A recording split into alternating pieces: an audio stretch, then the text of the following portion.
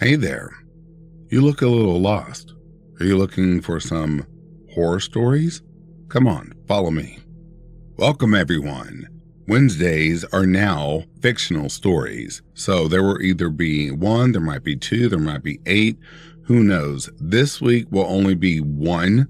So it's going to be really short, but I'm going to gauge how many stories I'll put in a video based off of the comments and interaction with this video.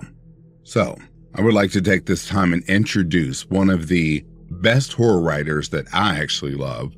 Um, and she's young, so she'll have a huge future in this if she keeps writing. Anyway, her name is Rosie Rose. So tonight's video is being sponsored by Rosie Rose because she's letting me read it here on the channel. So if you like what you are hearing, please let me know in the comments and we'll see if the videos start gaining some speed. If not, then it will still be a split Wednesday. I'll still release a horror story and, of course, the regular one. Cool? All right. This should be the only time that you hear me ramble this long. And yeah, I'm going to go ahead and read this for you all and see what you think of it. Rosie Rose, thank you so much for being who you are, and thank you for your fascinating, horrific pieces. Let's get started, everyone. I found a tape recorder in the woods. What happened afterwards will forever haunt me. Written by Rosie Rose. Just to give some information, I was part of a search team. I'm not a part of it anymore after what happened. Some time ago, we were alerted of a hiker that went missing in the woods. So, a search party of about 40 to 50 people was arranged. The woods are fairly big, so having that many people helps to scour the area. About five people were put to a singular group. The area of the woods mine and another group was sent to search was an area of trees that stayed dead. The forest is just completely dead in that area. No animals and no plant life. I never liked this part of the woods. Ever since I was a child, I felt like I was being watched in that part. I, along with the others, started the search. My group went in one direction and the other in the opposite. Throughout the entire time, I felt chills down my spine as if something was watching me. I tried to dismiss the whole thing and focused on searching for the missing hiker. The further we went in, the more I felt my stomach sink lower and lower as my heart rate sped up. By the time it was nearly dusk, I had nearly worked myself into a panic attack but I tried to stay calm.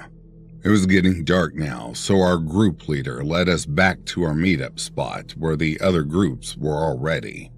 Both leaders decided to call it a day and continue searching tomorrow. Everyone agreed, looking very much worried. Perhaps they had felt what I had felt. After about 45 minutes, we all felt despair. We spent 45 minutes trying to get out when it took a shorter time to get back to the tree edge. It wasn't like we didn't mark the trees. We marked the trees we passed, but now we can't find the marked ones. It was like the trees were moving and distorting our sense of direction. We had tried using our phones to call for help, but there was no signal. So we continued on walking, I tripped on a tree root that shouldn't have been there. I fell over, and when I went to get up, I noticed a voice recording cassette tape. I picked it up and alerted the people in my party. We decided to listen to it since we saw nothing else to do. We had succumbed to the fact that we were trapped in the forest. We decided to listen to it. Listen. I don't have much time left before I'm fully consumed. But whoever finds this, get the hell out of the woods as fast as you can.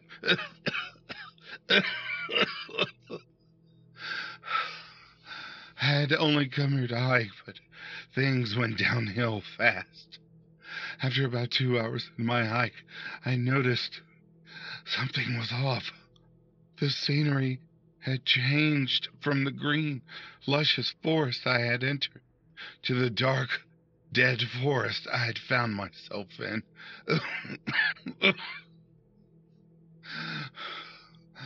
I tried finding my way back, but no matter what I tried, I couldn't. Night had fallen, and now I was for sure stuck.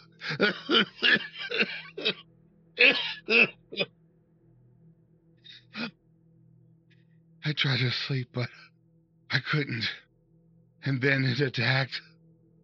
Vines had stabbed into most parts of my body and was wrapping around me. The pain was unbearable as I felt my arms and legs break. It's the trees. The trees are alive.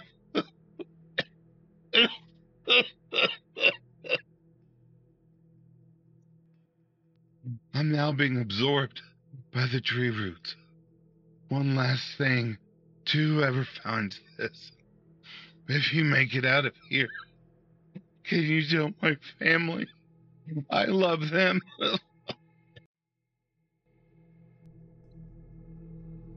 that was the end of the recording. We looked around at each other and to the trees that surrounded us. One of the people spoke up. Surely that wasn't real, uh, right? Why else would someone record that? The shits and giggles of it? Another person retorted.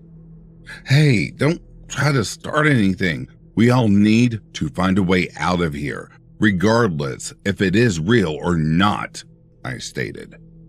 Everyone nodded their heads in agreement. But, but, but how are we going to get out if the trees can move? Another person asked. Everybody just looked at the ground and stayed silent. We didn't know how we would get out. Guys, I feel something on my leg. Someone said right as they were dragged away. We heard their screams as a sound of bone crushing followed. Their screams stopped abruptly as we were all shaken to our core. We were too shocked to even scream. We just stood there, staring in the direction of which our teammate was dragged off to. It wasn't long before another person was dragged away with their screams being cut off abruptly. This knocked us out of our shock and we just started running. As I ran, I could hear the sounds of others screaming, knowing that they were taken. I just ran as fast as I could. There were now about four of us just left running. The person off to my right screamed. I looked up just in time to see them get impaled by the tree branch. Their blood fell on me, covering me completely. The other two grabbed me by the arms and dragged me along as they ran. I ran with them, but I was still shocked. My body moved on its own as my head went blank. The sun was just peeking up above the trees as we saw the wood's edge. I heard one of them say something as our running sped up. I guess the thought of surviving snapped me out of my shock enough to notice all of the police cars and the two helicopters that flew above us. Many things happened after that that are just a blur in my memory. It's been almost two years since that incident, and I've finally felt confident sharing my story. I go see a therapist for the lasting damage the incident left on my mental state. But I am doing well. The other two people that survived are doing well also. Strangely enough, the incident pulled us together and we are all now close friends. I guess we felt the need that we could only ever truly understand each other after sharing something as traumatic as that. I don't know if I will ever truly move on from this, but knowing I have two people who feel the same way makes dealing with it a lot easier. And to everyone that hears this, please stay safe no matter what it is that you are doing.